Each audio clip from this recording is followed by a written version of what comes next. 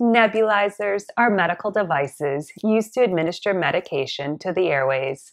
They are also used to help keep the airways clear.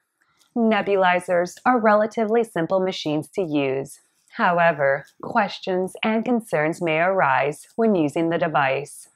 Join me this week as I discuss five frequently asked questions about using a nebulizer.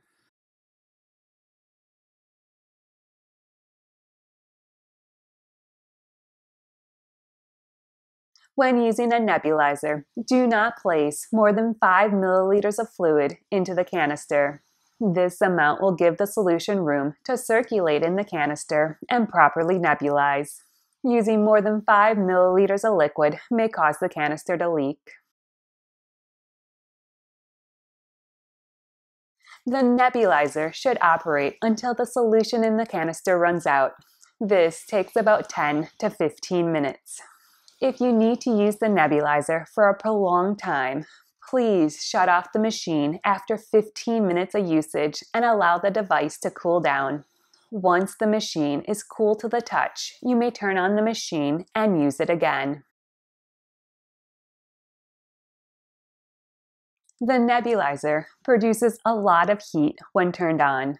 If the nebulizer is used for a prolonged time, the heat may overwhelm the nebulizer and cause it to shut down. If the nebulizer suddenly stops working while using it, turn off the device and allow the machine to cool down for 60 minutes. After 60 minutes, try to turn the machine back on. If the device works, the machine shut down because it was overheated. If the machine will not turn on, it is very likely the device is broken. It will need to be replaced. Your medical provider should guide you on when to use the nebulizer. The frequency will depend on the medicine being used in the nebulizer. Also, if you have a tracheostomy tube or laryngectomy tube, saline may be run through the nebulizer to moisten the airway and loosen mucus.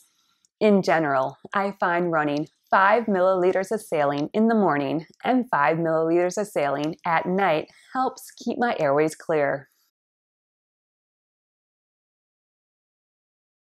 It is important to clean the nebulizer and accessories at least once a week. For the nebulizer unit, use a damp cloth to wipe off the outside surfaces. Dry the machine with a clean cloth. The accessories can be cleaned using hot, soapy water. Allow the items to soak for at least 10 to 15 minutes. Gently swirl the accessories in the water and then rinse them off in warm water. Carefully dry the items with a clean cloth. Thank you so much for joining me. Please remember to like and subscribe down below. I hope you have a great day and a wonderful week. Bye bye.